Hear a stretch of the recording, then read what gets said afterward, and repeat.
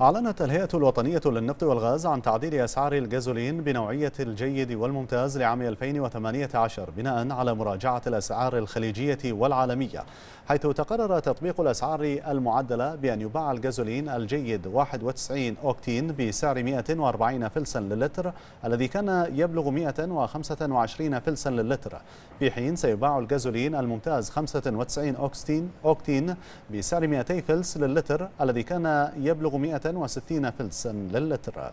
حيث تبلغ نسبة الارتفاع في سعر الجازولين الممتاز في حدود 25% و12% فقط للجازولين الجيد.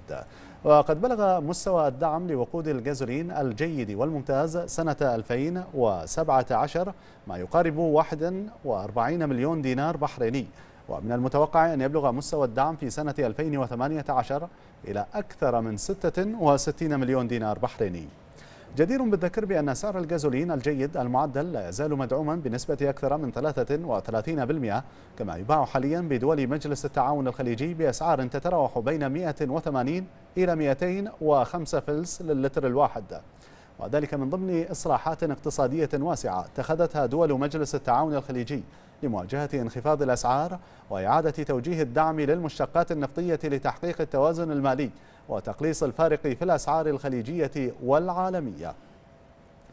وقد صرح معالي وزير النفط بأن أسعار النفط العالمية اتخذت منذ عام 2016 اتجاها تصاعدي تلاها ارتفاع في أسعار مشتقات البترول العالمية وقد اعتمدت عدد من الدول الخليجية اتباع آلية لتعديل أسعار المشتقات المحلية بشكل شهري بحيث تتواكب مع الأسعار العالمية إلا أن الأسعار في البحرين ظلت ثابتة خلال العامين الماضيين على الرغم من الارتفاع العالمي.